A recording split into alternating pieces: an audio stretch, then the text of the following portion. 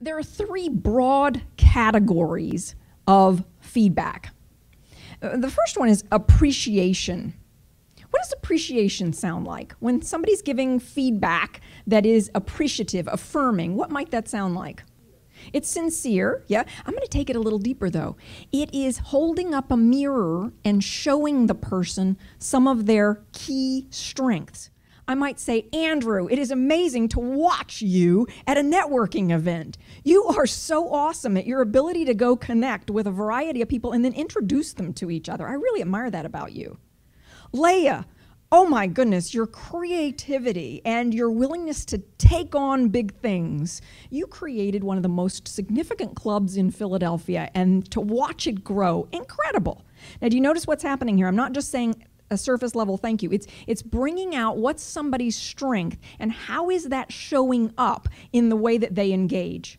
Most of us need and want appreciation. We need and want other people to mirror to us what our real strengths are.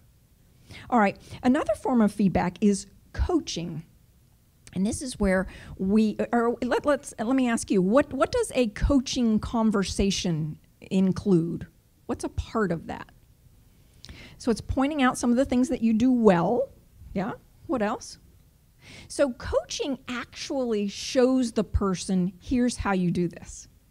So in the scenario that we just did with the activity person A and person B, in some ways you could say I was coaching you by giving you the specific scenario of what to say when somebody gives you unsolicited feedback.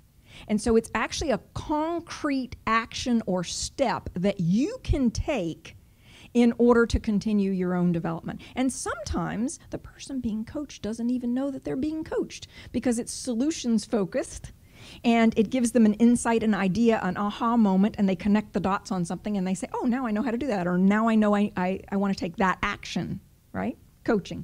All right, the third form of feedback is evaluation. What might evaluation sound like? When you're getting evaluation from somebody, on a scale of 1 to 10, I think the performance on that was a 6, and here's why. Here's what we need to do. Here's the criteria that we're looking for in excellent or outstanding work, and here's where this fell short. Here's what we can do to improve. So that's evaluation, right?